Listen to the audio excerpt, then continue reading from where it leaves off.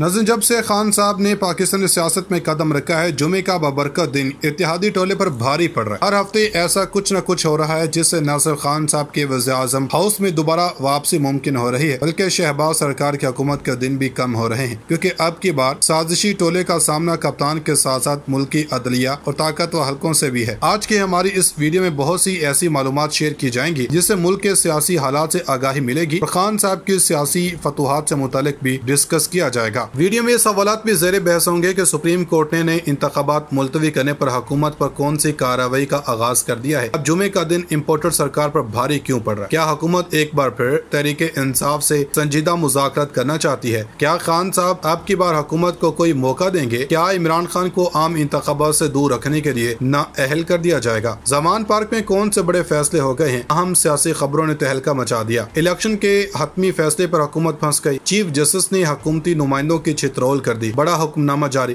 قومی اسمبلی تحلیل ہونے والی ہے۔ بڑوں کا بڑا فیصلہ آ گیا۔ زمان پارک میں خوشی کا سما۔ عمران خان کو ہرانے کے لیے شہباز حکومت پھر سازشوں میں جٹ گئی وزیروں کو بڑی ہدایات جاری۔ ناظر تیرہ جماعتوں کے اتحاد نے عمران خان سے اقتدار تو ہتھیا لیا، لیکن عوام کے دلوں میں اپنے لیے نفرت پیدا کر بیٹھی ہے۔ جو کام ماضی میں حکمران جماعت نے عوام کے لیے کیے وہ اس سیاسی پارٹی نے اتحاد میں شامل ہو کر مٹی میں ملا دیے ہیں۔ یہی وجہ ہے کہ اب شہباز شریف عوامی فیصلوں کو بدلنے کے لیے الیکشن کی راہ میں رکاوٹ بننا چاہتے ہیں۔ لیکن سپریم کورٹ نے ان کی اس خواہش کو ملیا میٹ کر دیا ہے اور ایک بار پھر سازشی ٹولہ عدلیہ کے آتاب کا شکار ہونے والا ہے۔ ویڈیو میں سوالات بھی ڈسکس کیے جائیں گے کہ سپریم کورٹ نے کیسے حکومت کی گیم الٹ دی ہے۔ کیا قومی اسمبلی آئندہ ہفتے ہی تحلیل ہونے والی ہے؟ کپتان کی قانونی ٹیم نے کس طرح حکومت کو عدالت عظما میں بے نقاب کیا ہے؟ کیا الیکشن سے متعلق چیف جسٹس کوئی تاریخی فیصلہ سنانے والے ہیں۔ سنسنی خیز خبروں سے بھرپور اس ویڈیو میں یہ پوائنٹس بھی ڈسکس ہوں گے کہ جمعہ نون لیگ پر پھر بھاری ثابت۔ سپریم کورٹ کا دھماکے دار فیصلہ چیف جسٹس نے امپورٹڈ حکومت کی منچی ٹھوک دی۔ سپریم کورٹ کے ایکشن کے بعد حکومت نے گھٹنے ٹیک دیے ترلوں منتوں پر اتر آئے عمران خان کی اگلی حکومت، عمران خان کی اگلی حکمت عملی کیا ہوگی فیصلے ہو گئے۔ بیرونی سازش کرنے والوں کا راز فاش۔ P T A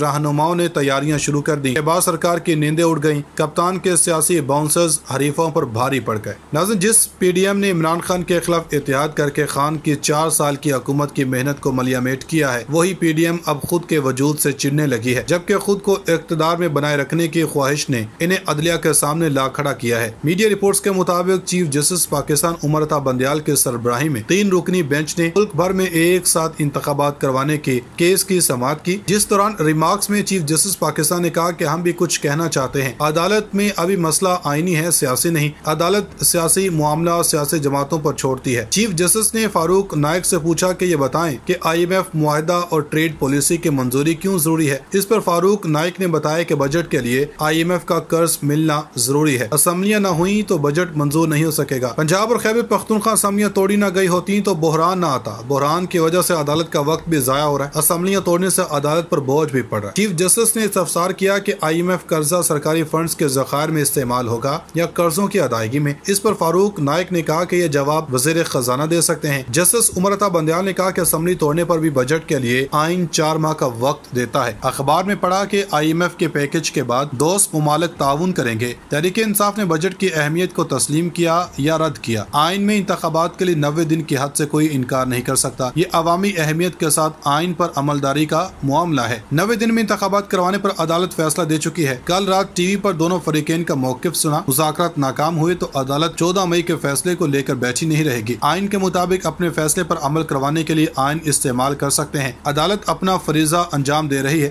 justice Umar Ata Bandial نے مزید کہا حکومت نے کبھی فیصلہ حاصل کرنے کی کوشش ہی نہیں کی۔ آپ چار دن کی بحث میں لگے رہے۔ جسٹس عطر من اللہ نے اسمبلیاں بحال کرنے کا نقطہ اٹھایا تھا، لیکن حکومت کی دلچسپی ہی نہیں تھی۔ آج کی گفتگو ہی دیکھ لیں، کوئی فیصلے یا قانون کی بات ہی نہیں کر رہا۔ حکومت کی سنجیدگی یہ ہے کہ ابھی تک نظر ثانی درخواست دائر نہیں کی۔ حکومت قانون میں نہیں، سیاست میں دلچسپی دکھا رہی ہے۔ چیف جسٹس نے کہا کہ انتخابات والے فیصلے پر نظر ثانی کا وقت اب گزر چکا۔ ہم اس معاملے میں صرف سہولت کاری کرنا چاہتے ہیں۔ ایک ہی روز انتخابات انتخابات کی تاریخ پر اتفاق رائے ہونا چاہیے۔ اس نتیجے پر پہنچے ہیں کہ معاملہ سیاسی عمل پر چھوڑا جائے۔ ناظرین، دوسری جناب امپورٹر سرکار اپنی ممکنہ شکست کو دیکھ کر خان صاحب کو سائیڈ لائن کرنے کے لیے اب نئی ترغیبیں لڑا رہی ہے۔ میڈیا رپورٹس کے مطابق وفاقی حکومت نے الیکشن پر مذاکرات سے متعلق جواب سپریم کورٹ میں جمع کروا دیا۔ وفاقی وزیر خزانہ اسحاق ڈار کی جنب سے جواب اٹارنی جنرل کے ذریعے سپریم کورٹ میں جمع کروایا گیا۔ جواب میں کہا گیا کہ حکمران اتحاد یقین رکھتا ہے کہ سیاسی معاملات کا حل سیاسی بات چیت میں ہے۔ حکومت کی طرف سے موقف اختیار کیا گیا۔ کہ ملک کے لیے وسیع ترین مفاد میں مذاکرات کا عمل دوبارہ شروع کرنے پر تیار ہیں۔ پاکستان طریقے انصاف سے بات چیت شروع ہونے کے بعد اہم پیش رفت ہوئی ہے۔ پی ٹی آئی نے ایک تاریخ کو الیکشن کروانے پر اتفاق کیا۔ حکمران اتحاد کے جواب کے مطابق الیکشن معاملے پر فریقین میں مذاکرات پر مثبت پیش رفت ہوئی۔ قومی اور باقی صوبائی اسمبلیاں کب تحلیل ہوں، اس حوالے سے تاریخ پر اتفاق نہیں ہو سکا۔ جواب میں کہا گیا کہ حکومت اتحادیوں میں مذاکرات میں لچک دکھائی ہے۔ اسمبلیوں کو وقت سے پہلے تحلیل کرنے کے معاملے پر بھی غور کیا گیا۔ ناظرین، دوسری جناب وزیر اعظم شہباز شریف لندن کے دورے پر ہیں۔ شہباز شریف اور قائد مسلم لیگ نون نواز شریف کے درمیان لندن میں ملاقات ہوئی۔ وزیر اعظم نے نواز شریف سے ملاقات کے بعد گفتگو میں کہا کہ ایک ہی دن انتخابات پر قوم کا اتفاق ہے۔ ملک میں ایک ساتھ الیکشن ہونے چاہیے۔ نواز شریف بڑے حوصلے میں ہیں اور وہ جلد پاکستان آئیں گے۔ یاد رہے کہ اس سے قبل وزیر اعظم شہباز شریف کا کہنا تھا کہ قانون سازی پارلیمنٹ کا حق ہے، اور تمام اداروں کو آئین کی مقرر کردہ حدود میں اپنا کردار ادا کرنا چاہیے۔ کیونکہ ملکی سالمیت اور سلامتی اور لوگوں کی ترقی اور خوشحالی کے لیے ناگزیر ہے۔ انہوں نے کہا کہ اتحادی حکومت چیلنجز سے نمٹنے کی پوری کوشش کر رہی ہے اور پاکستان مشکلات سے نکلے گا۔ انصاف ہوتا ہو نظر آنا چاہیے۔ عوام اور ملک کی بہتری کا مطلب یہ ہے کہ نظام آئین کے مطابق چلایا جائے۔ آئین کی بالدستی کے لیے سب کو اپنا کردار ادا کرنا ہوگا، جبکہ سب کو قانون اور آئین کا احترام کرنا چاہیے۔ وزیر اعظم نے کہا کہ پارلیمنٹ کا قانون سازی کا حق آئین میں دیا گیا اور یہ حق چھینا نہیں جا سکتا۔ اس وقت پارلیمنٹ اپنا مؤثر کردار ادا کر رہی ہے۔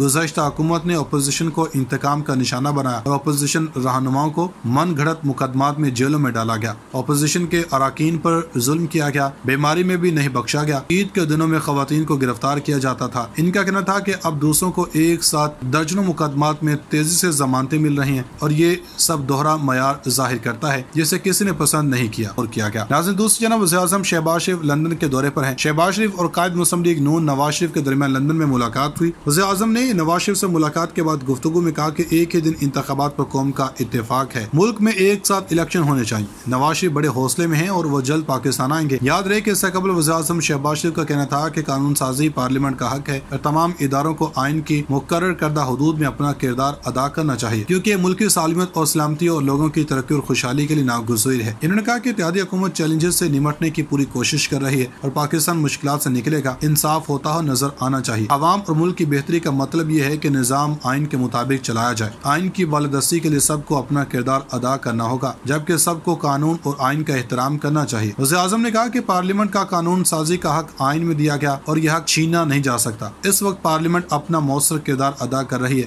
گزشتہ حکومت نے اپوزیشن کو انتقام کا نشانہ بنایا اور اپوزیشن رہنماؤں کو من گھڑت مقدمات میں جیلوں میں ڈالا گیا۔ اپوزیشن کے اراکین پر ظلم کیا گیا۔ بیماری میں بھی نہیں بخشا گیا۔ عید کے دنوں میں خواتین کو گرفتار کیا جاتا تھا۔ ان کا کہنا تھا کہ اب دوسروں کو ایک ساتھ درجنوں مقدمات میں تیزی سے ضمانتیں مل رہی ہیں اور یہ سب دوہرا معیار ظاہر کرتا ہے جسے کسی نے پسند نہیں کیا۔